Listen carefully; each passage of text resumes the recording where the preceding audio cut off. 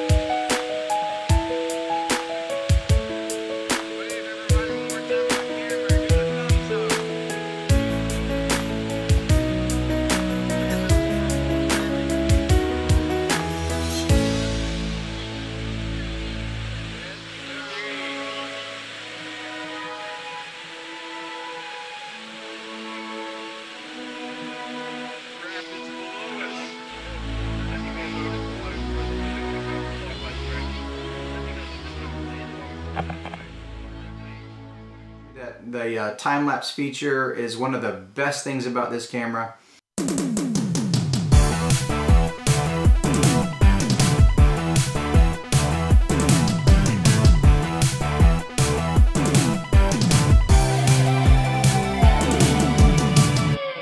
Um, one of the tricks I use is to put on a long selfie pole and put it out my sunroof, close the sunroof to hold the pole in place and just drive.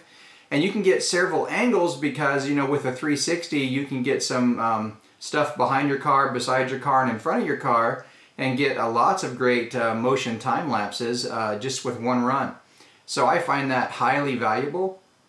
There's a lot of features on this camera that you can uh, look up online and look at other reviews. I'm talking to you, is it uh, valuable as a stock producer? And I'd say yes. You know, a lot of times I don't like to shoot with cameras in the middle of the day. Uh, I just don't like the lighting. But for motion time lapses or, you know, quick grabs, uh, this camera is fantastic. I would not use this camera in low light. I would not use it after sunset whatsoever. Um, the quality is not going to be there you know, the 360 photos are fun to play with. There's apps out there you can animate the photos as well, and um, you can sell those as stock, which I have done.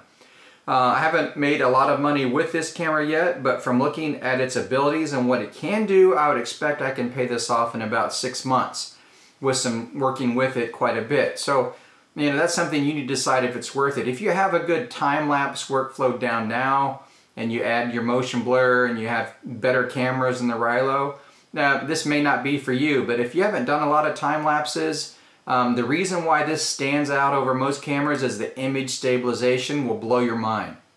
So you can walk with this camera around a town, around a city, around a building, and get rock solid stabilization and add the motion blur in the app, and it's fantastic. So for quick time lapses that have good commercial value, it's the best tool I found for the price.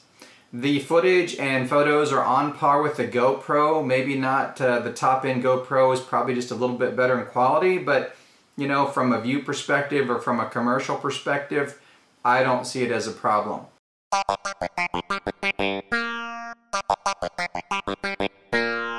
Um, if you have any questions or use a 360 camera, uh, feel free to leave it in the comments below.